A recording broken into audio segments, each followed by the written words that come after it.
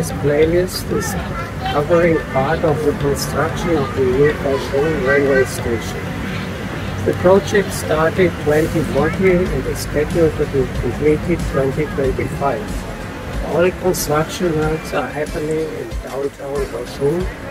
There are many temporary works during the project as construction is done under operation of the railway and MRT.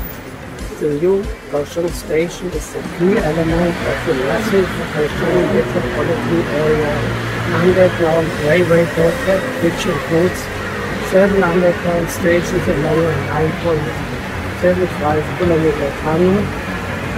The railway was put underground and the station is getting a new true transportation hub for bus, railway, MRT, bicycle, and so on. It's a great step forward. Thanks for watching this playlist intro.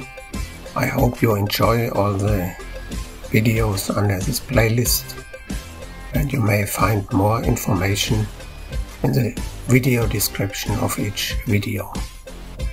Bye bye.